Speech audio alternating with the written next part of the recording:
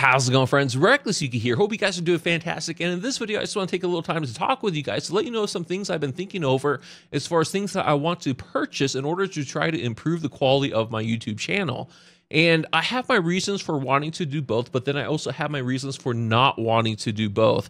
And the two things that I really need to basically make up my mind is whether or not I want to get some Pascal GPUs or if I want to do this full blown out water cooling rig setup.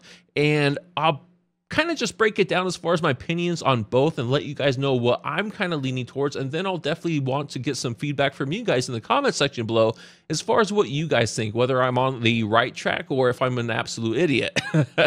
Anyways, hopefully my fat talking head here isn't going to be too boring for you. If so, there's definitely plenty of other tabs you could open up to browse whatever you're interested in but hopefully you at least listen to what I have to say.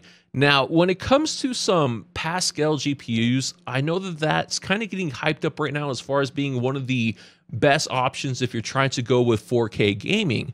And 4K gaming is pretty ridiculous. It definitely takes a lot of horsepower to do so. And my goal when I built my PC was to be able to do 4K gaming at 60 frames per second, recording that and uploading it for the qual like the highest quality I could here on YouTube. And I'm able to achieve that with the current setup. Now, with the original setup I had, I basically had two GTX 980s, which weren't cutting it. So I thought I would throw in another 980 for a total of three, and that was still not cutting it. And then when the 980 Ti's came out, I kind of held off for a little bit, but I finally like sunk in and got them. And I am able to achieve 4K at 60 frames per second, as you've seen in some of my recent videos but that takes a lot of time to edit and render and upload and for YouTube to process those videos. It takes a lot of time, but I'm happy to do so for the best quality possible for your visual entertainment.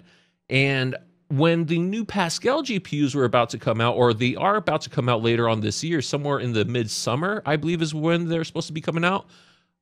I'm not sure if I'm going to want to get them because I'm perfectly content with my 980 Ti's and my 980 Ti's are able to do exactly what I need to. And even though the Pascals are supposedly 10 or 15 times better than the Maxwell architecture, I'm not sure if that's going to actually relate to frames per second or actual gaming performance, but I'm very interested to see, like many of you, as far as what the actual benchmarks are. And when it comes to the actual benchmarks, I'll let the top tech tubers do that because I'm just a small fry in this YouTube world. And I'm definitely going to listen to the opinions of people like Linus Tech Tips, JayzTwoCents, Paul's Hardware, uh, Awesome Sauce, uh, as well as some other guys like Joker Productions who's trying to get into that game. So there's definitely a lot of YouTubers out there who are into that sort of thing. And I'm just going to take the opinions of them. I'm not going to try to put myself in there unless if there's some sort of card that no one reviewed and I possibly have. Sure, I'll do a benchmark of it to try to uh, like add to the community but I'm definitely not going to try to pursue that as trying to get my hands on the things when they first come out because there's no competing against those top YouTubers who are already going to get the cards for free well before the actual release. So I think it's silly for me to try to compete against that as far as trying to grow on YouTube. Now, as far as for the performance of the cards, I don't think that they're going to be that like I know they're going to be better than the 980 Ti's. I am pretty sure, but we really don't know anything official yet. We don't know how that extra performance will relate when we're talking about gaming performance.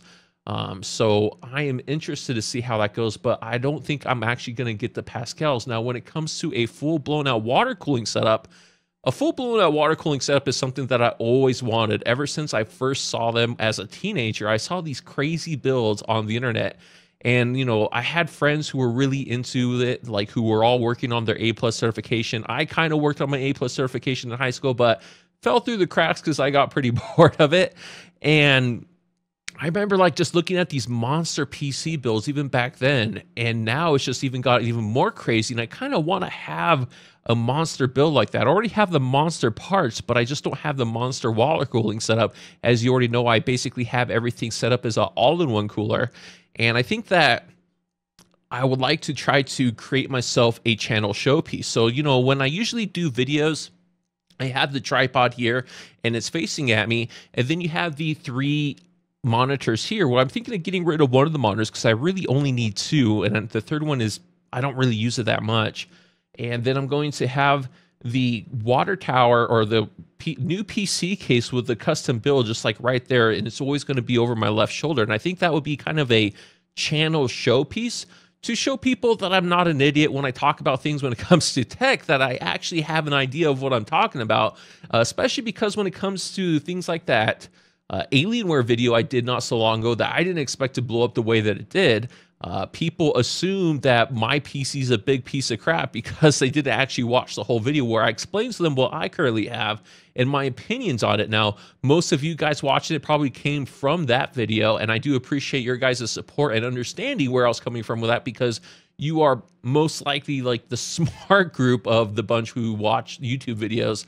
Um, you are well aware of, you know, trying to hear people out and then taking their opinion and then kind of weighing it against your own to make your own opinions besides just blindly following some brand that doesn't care about you.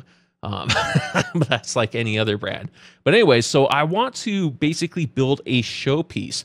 Now, when it comes to the cost of these, like the Pascal GPUs, I have no idea how much they're going to cost. Probably maybe like I don't even know what to speculate because they're going to have a replacement Titan, they're going to have a replacement 980 and then 970, and then who knows if they're going to have like another 980 Ti? It'll be like a 1080 Ti or something like that. So I'm curious to see where they go with it before I try to jump on the first Pascal uh, bandwagon, I guess. And I want to see the gaming performance. Now, when it comes to the water cooling, the way that I have it set up is I have a cheap case in mind, which is a Thermaltake Core P5. And I know Thermaltake has a lot of gripes here on YouTube, but I like the looks of the case. I think it's a cool looking case.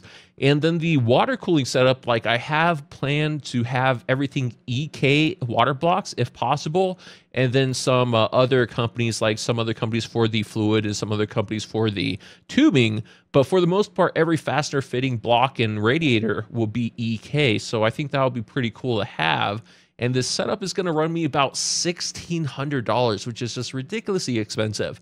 And I also tried to contact these companies to see if they'll support me in any way to basically give me a discount saying that I'm building a showpiece for my channel that will be in every video.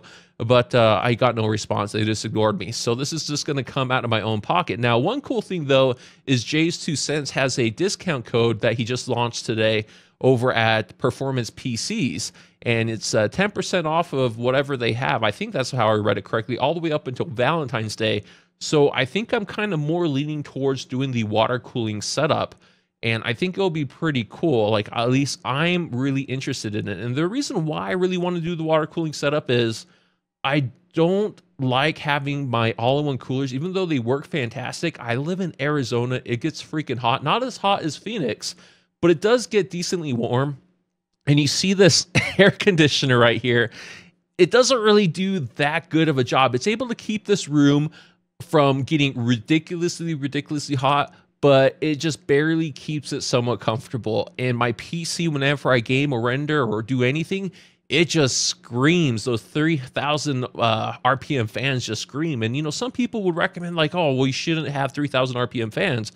Well, you have no idea how hot it gets here. And, you know, a lot of people who kind of say that they just work fine on air coolers and they have their stuff overclocked on air coolers. Well, they probably live in cooler areas where they don't need to worry about it as much or their like apartments or housing whatever they live in actually has quality air conditioning where me in this room the only air conditioning i have is that little portable unit which doesn't do a super good job but it's better than nothing so that's why I kind of wanted to do this custom loop because it will have like a single 480 rad, and then I'm thinking like two 360 rad. So there's going to be a ton of radiator space to dissipate as much heat as possible from the motherboard, the uh, CPU, and GPUs. So I mean that's that's the game plan for that. So I mean as you could tell already as I talked heavily about it, I'm really leaning over to it because that's like I already uh, priced out everything that's how I kind of got it and already have like the whole thing set up in my mind as far as how I want to do it. So either the Pascal GPUs or the water cooling setup, and I'm leaning towards the water cooling setup, and I really want a showpiece for the channel.